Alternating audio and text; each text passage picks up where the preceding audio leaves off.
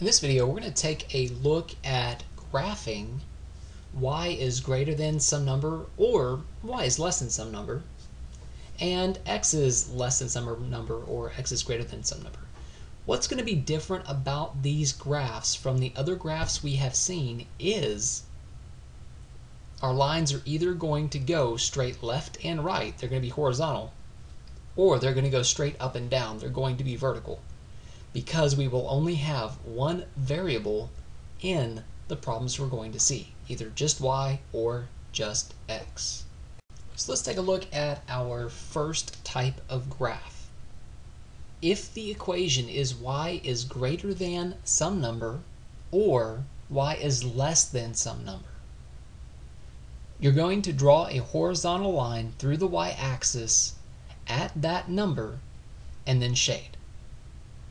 So, in this example, we've got a horizontal line drawn through the y-axis at negative 2. Notice it says graph y is greater than or equal to negative 2.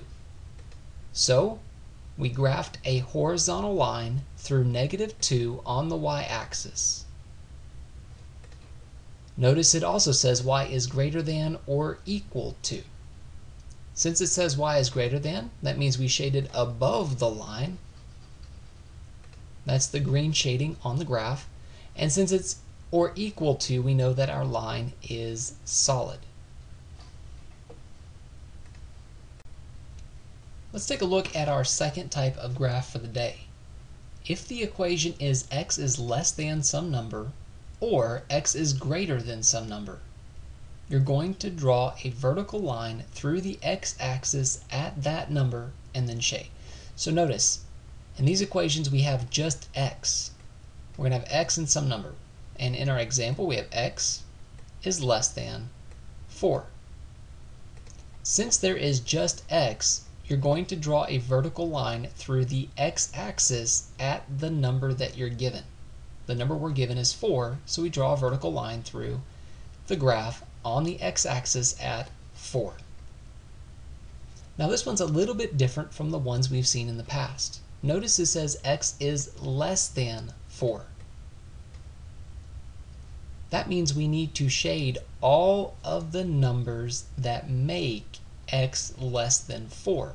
Or on the x-axis we shade all the numbers that are less than 4 and that would be to the left of 4. 3, 2, 1, negative 1, and so on. So all of the ordered pairs, the entire graph to the left of 4 gets shaded. Since it is just plain old less than and not less than or equal to, we use a dotted or dashed line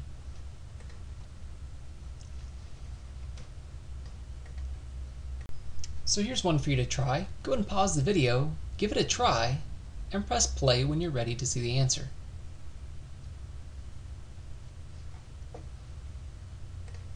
Notice the graph that we're given has a vertical line through the x-axis at 2. Now that's important.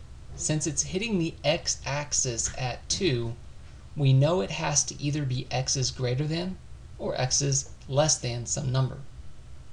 So we can immediately cross out answer choice A and answer choice B. Again, because it's a vertical line through the x-axis at that number. So now we have x is greater than 2 or x is greater than or equal to 2. Well, since it's shaded to the right towards numbers that are bigger than 2, we know it's going to be greater than.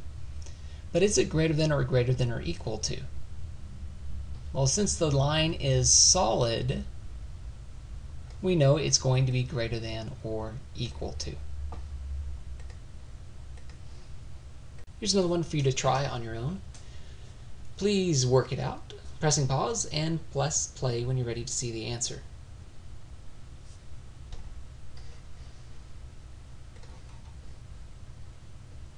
For this one, we notice that the line is going through the y-axis at 2. Since it's hitting the y-axis and it is a horizontal line, we know that it has to be y is less than or y is greater than.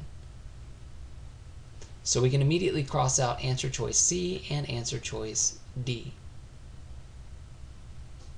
Since it is a dashed line, we know that it is has to be y is less than the number. In this case, y is less than 2, which does match because we're shading all of the numbers below 2 on the y-axis, and we're shading all those values that are less than 2. And we've got one final one for today. Which of the following graphs could match y is greater than 3? Go ahead and pause the video, think about it, and answer.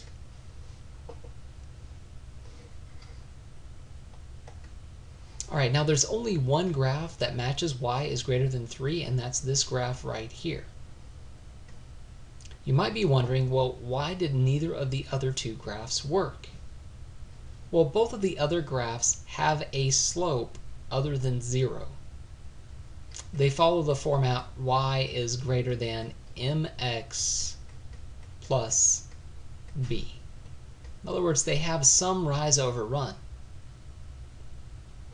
The first graph, the graph that actually matches y is greater than 3, is a horizontal line. It has zero slope. So keep that in mind when you're graphing y and some number has no other x value, no other variable, then you need to know that you're going to use a horizontal line.